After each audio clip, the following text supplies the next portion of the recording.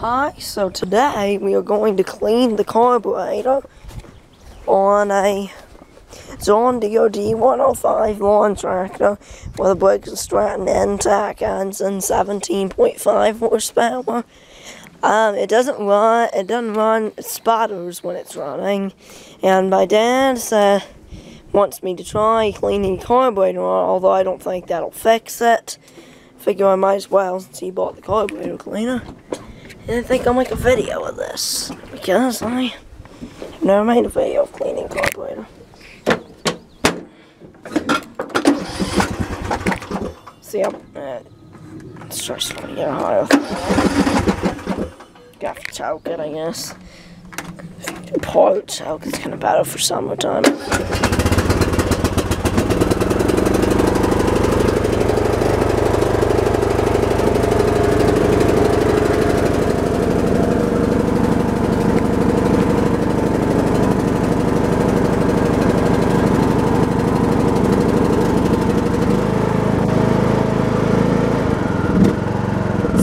How bad runs? See? You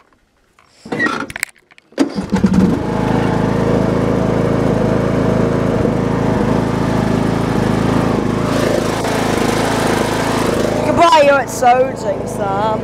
It's not bad surging all the time. And it lasts on the loud, but it's definitely surging.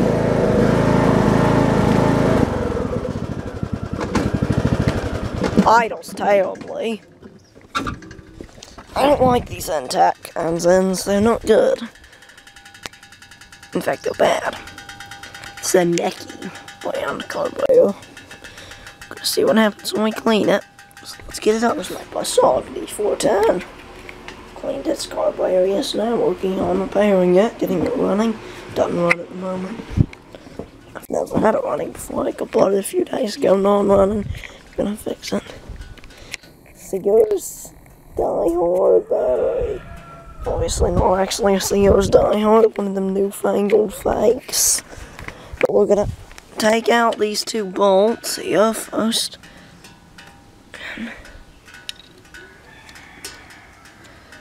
So let's find the right size. Okay. I'll pause the video if I can't find the right size. These Briggs & Stratton Intek are not a very good engine. Okay, I think I know what size we need. Mm. Uses a 38 cent socket. So I'm going to take out these two bolts. Um, connect them bolts out. See, got to be cool as the hot muffler. I haven't actually ever cleaned an Intek carburetor before, but most of these carburetors are pretty similar design. And considering I've cleaned a Zenith Bendix carburetor from the 60s, and some 2000s, and some new carburetors too, I think I have some good experience. Now we're going to get off these two hoses. That's the gas line, so all gas will spill out. I don't have to worry about all the gas coming out because it's got a fuel pump if it doesn't have a fuel pump, like if it's gravity free, well, we get fuel tank right there, you will have all the gas run out, so make sure you don't like spill it on the muffler or anything, because I guess it might blow up or something. And this has a fuel shut-off solenoid. Sometimes you'll just have a little bolt on the bottom of that, no solenoid. Uh, at least I guess that's the case with these Inteks. At least that's definitely the case with some, a lot of engines. I don't know if it's the case with this. So we'll just be unplugging. Make sure I shut the hood. I don't want any water getting into this. And you had notice you had, of course you had to take off the breather there filter. It's disintegrating a little. This is the AO tone hose for the gas tank. If you're wondering. This is just a, your ordinary, fairly ordinary float carburetor. Um, I'm using, I know I'm using some wire strippers here incorrectly using, but you can just use pliers, needle nose pliers. I, Either of those will do the job. Maybe even better. A big opening there. I gotta admit these overhead valve engines are so less wasteful of their displacement than old flatheads are. But I don't like how unreliable these are. So I gotta pry that off. Okay, and you're just gonna notice this is built for a separate choke. They could put a cable there, connect right there. But you're just gonna unhook both of these, all those from the throttle system. Let me see if I can loosen them up and push them in. No, they'll pull it tighter. okay, so these just, you see they're just wrapped around. You can just kind of wiggle them and come, get them come out. And the one back there is also a hose right there, a crankcase breather. So you'll need to pry that off. I'm not bothering. There's also a screw right there. Um, so if you can see it beside there, you know, As I said, I've never cleaned one of this carburetor before. No, I know, moved it and I found a few things. So you gotta take off this breather. And it was right here, so you gotta get behind it, take out the nut. There's also a nut there. And I, behind this, there was a little rubber gasket, like this one. It fell out, so keep an eye on those. Also keep an eye on that one, it might fall out too. And that's about, no, I just gotta wiggle off those connectors, throttle linkage. And don't mess with any of those adjustment screws. I mean, they may need adjusting, but better to avoid adjusting, having to adjust them if you okay, can. So I got that off. Just had to wiggle those. The choke connect one connected here goes like there, as you can see. So you don't, you gotta avoid that might fall out. Make sure you know where what position it's in so you can slip it back in. Because you're going to have to take it out anyway to get it unhooked. And then when this guy is pushed up all the way, the top of it's going to whack that, I think. So, so, so now we got to actually clean the carburetor. I'm going to see how does that come out. I should just be able to pry that off of the connector off with a screwdriver. off the connector with, like, like, you could use some pliers or whatever. And here's carburetor. We're going to go and clean it now. Keep dirt out of those holes. Keep dirt out of that. And i am going to put the this air filter under the hood. And I'm going to leave that out in case it rains. And we have to clean it off a bit. And set the hood. And wait a minute. All these air... let's put it back, air filter back there and leave this And I just had a good thought. Take the key out. You don't need anybody cranking that trying to start it. Might draw in some dirt. And these oh these bolts I'll put sorry about all the noise in here. There's my brother doing hammering on something. I can't tell, it looks like you may be nailing a tool to this table. What are you doing? Oh, you're making a hanger for that. Will it come off? Uh, Okay, so we're gonna. Yeah. So to get this off, we're gonna. I'm gonna take a wrench and take out. Oh, you can grip these. Take out both of these rods here. Put that off, and now we're finally to the actual carburetor. So now we're finally to the carburetor. Now we need to clean it. So we're gonna strip it down. Don't take that out or anything. Gonna take out that screw and that screw. And then the carburetor will be opened. There's some gas in it, probably, so look out, it's gonna spill. Okay, yeah. So, I've got it open. These screws are extremely tight. You may have to take some vice grips as it'll just squeeze them in and tone it because this screw is getting strapped. If you don't have vice grip pliers, locking pliers, you may have to find something else. But we may just not be able to get open. But this one screws alright. So I'm going to see if I can find a new one to replace this one with. Actually, I'm not sure if I, I won't worry about that. I could probably get tight again. So we're going to clean it out now. Doesn't look very messy. But I'm going to go ahead and do all the things I do when I'm cleaning a carburetor. Although, my dad said I should try this. I don't think I need to. But, I will clean it anyway. And I can just make a video. I've been wanting to make a video. I've cleaned several carburetors. That mower's one that I cleaned it on. Didn't run. Okay, so we're gonna I said taking apart now. Not think about it. Now let's take it apart out here. So we're gonna push out this pen.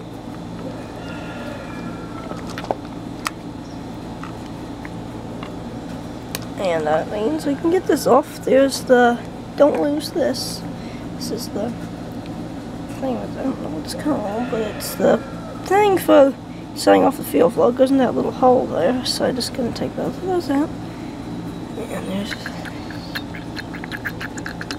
there's the start solenoid thing in there. So now we're going to just be spraying into all the jacks. See, can we turn this and move it?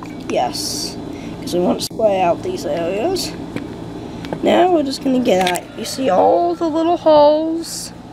All of them you're going to spray into with carburetor, choke control, body cleaner. So be careful not to get spray on your tunes. All these little nooks, grannies, holes. Spray them. All parts have been sprayed off with carburetor cleaner. Berryman B12 Chemtool. Great stuff. It's about the greatest stuff around. So we're going to put this on here. And for some putting this part back on makes you line up this area with that hole that when you saw it sprayed carburetor cleaner into here or into the hole, you saw it came out here because they connect. This makes you line those up like that. Can just look at reference right here is going to be about directly beside that when you put that piece back on.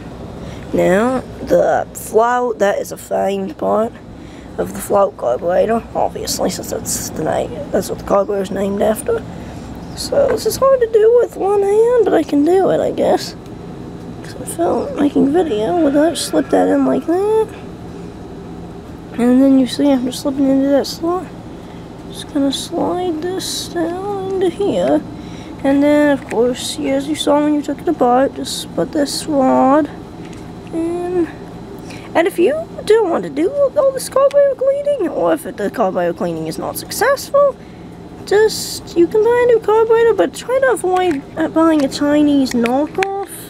Try to buy a genuine Briggs & Stratton, it's probably going to be better. But maybe not a lot better, but better. If I were you, I would have bought a vintage garden tractor though, and not a modern one with an Intek engine, but most people can't afford, well they don't want a vintage garden tractor of course. Now I'm just going to spray off this assembly. And we assemble this part on it. And then I'm going to spray everything off, make it looks nice. And I would spray down there of course. Together. Now I'll go grab the screws and screw it back together. Okay, it's reassembled. You can get those screws pretty tight, but you don't have to get them as tight as the Briggs Stratton I put made them. And I'm sprayed off the that part, but I'm not gonna spray off most of the outside. But let's go put it back on the mower now. Of course, you don't want to put together your carburetor. Go set up backwards, so got to put this on probably. So since this is on the outside, this will need to go like this. And make sure you have the choke and with that on like that. And now I'll put it back together, same way you took it off. Okay, we're gonna put it back on and hook that those on. I got that hooked on like that, so we're gonna put on that part now. Before you bolt on either of these, you put in the gas, make sure the gaskets are on them. Bolted on, that's the air filter. Bolted on, throttle linkage connected and all. It's got a few things left to do. We'll connect this hose here and this was here, and then put on the clip. Oh goodness, can we get it on there? Yeah, just put on the air filter. My me is putting on this. it's almost time to test. I wondered why why that looks so real. Now let's see if he runs any better. Yes. Well, it does look kind of sleek. Yeah, but mine looks cheap because it's different. Okay, so all this is set up. It should run fine now. I've tightened the bolts. Well, I shouldn't say it should.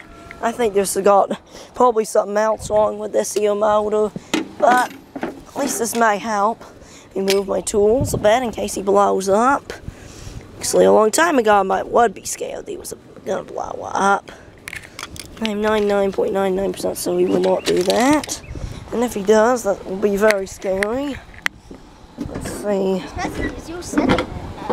yeah.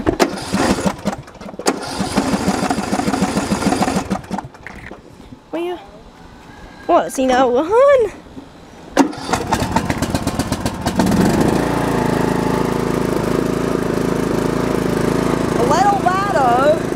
Yes, running better than he had, guys. Well, that's an improvement, isn't it? Not much different, but it is an improvement.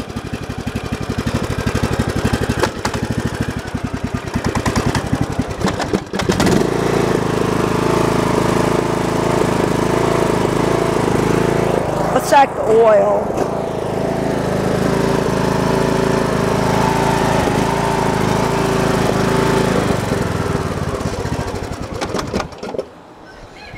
It's obviously a terrible engine.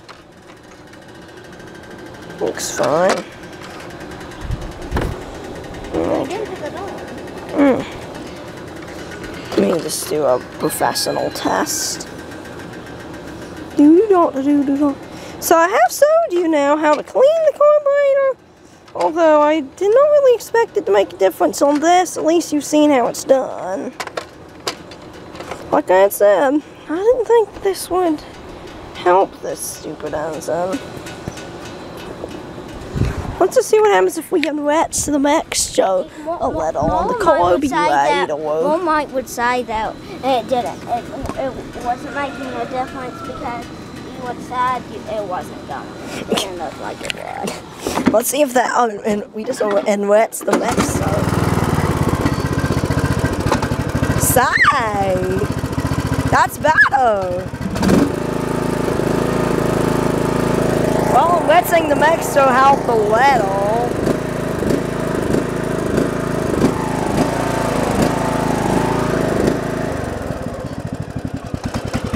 This is an absolutely terrible mile, mile here, but let's park it now. At least you've seen how it's done. It's stalled. At least you've seen how it's done, people.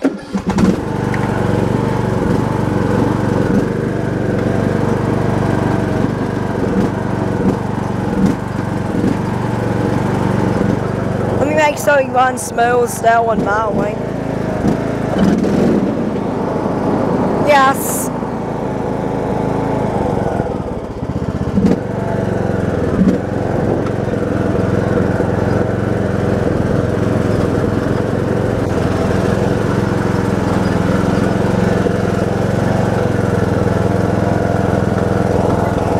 I would say he runs a little better.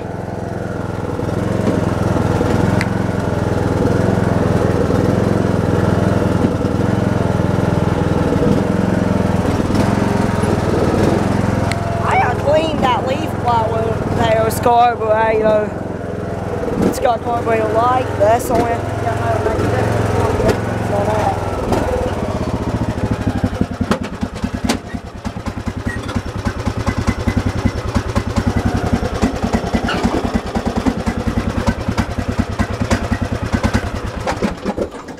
Especially one's better when you put this on a lot. Yes. Hey, that table's gone here. Look! Maybe Dad's gonna shelter right here. I'd like I that. wish that was cool. I hadn't till now. Okay.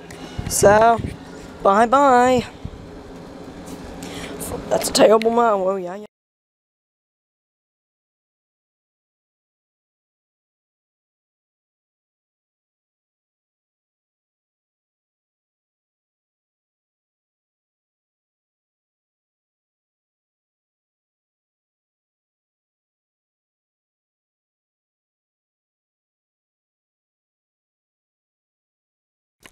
So I think the carburetor cleaning I did did help because now at the moment he's running smoothly now. I think it may have cleaned it out, just cleaned it out from like help help loosen some deposits that then got cleaned out as I was mowing with it.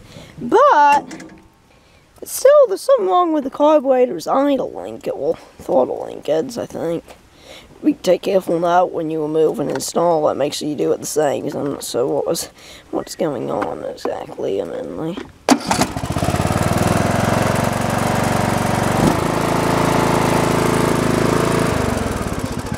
Now it's idling good because the video. Say.